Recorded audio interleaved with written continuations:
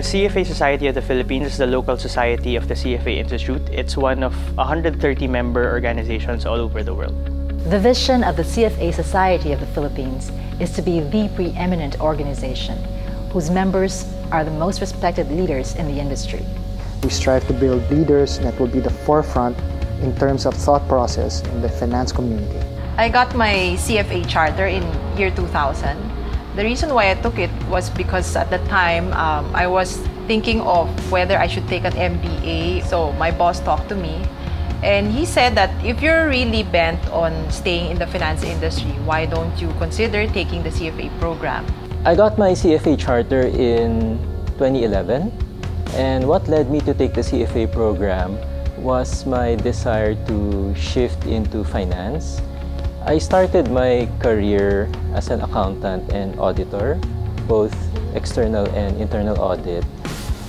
After a while, I felt that I needed to broaden my horizons. It was a desire to shift careers, quote unquote. I received my charter back in 2009. Um, I was then um, an associate. CPA I was already carrying at that time wasn't enough in order for me to readily give good service to my clients because my clients are looking for finance advice more than accounting advice. Since the CFA program provides you with the broader knowledge of uh, the industry. It helps me in making decisions, in my investment decisions.